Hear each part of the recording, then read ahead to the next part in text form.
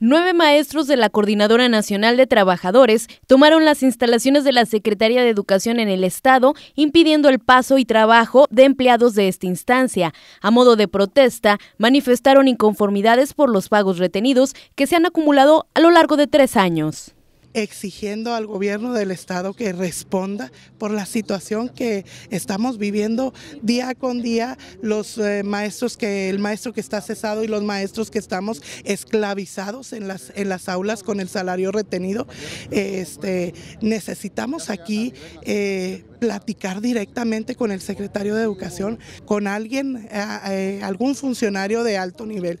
¿Por qué? Porque ya nos cansamos de, de esta situación. Reclamaron también que se les ha negado la atención médica por parte del ISTE. Tenemos compañeros, tenemos por ejemplo ahorita una compañera que se accidentó, este, es de, las eh, compañeras que está con salario retenido y pues no tiene servicio médico, entonces no puede ausentarse de su escuela eh, porque no le dan una incapacidad, porque no tiene un talón de pago. Ahora nuestros hijos eh, requieren servicio médico también.